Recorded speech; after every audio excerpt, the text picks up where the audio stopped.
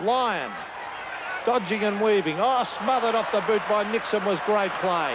Hamilton now on the back line. Now it's Ross Lyon onto the left foot.